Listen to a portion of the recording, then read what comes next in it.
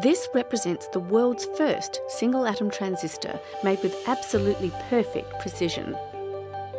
It's the work of researchers at Australia's University of New South Wales, and it demonstrates all the potential for being the building block of a super fast quantum computer, a device that will solve some of our grandest technological challenges. The thing that's unique about the work that we've done is that we have, with atomic precision, positioned this individual atom within our device. Single atom devices aren't new, but the ones developed so far have a margin of error of around 10 nanometres. A tiny spatial shift, but enough to affect their overall functionality.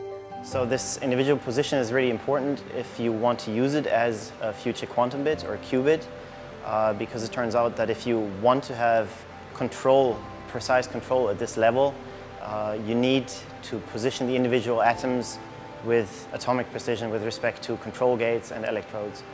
And so several groups have tried this and indeed they've been able to isolate a single atom in their device. But really, if you want to make a practical computer in the long term, you need to be able to put lots of individual atoms in. And there you find that the separation between the atoms is quite critical. So you need to have atomic precision to do that.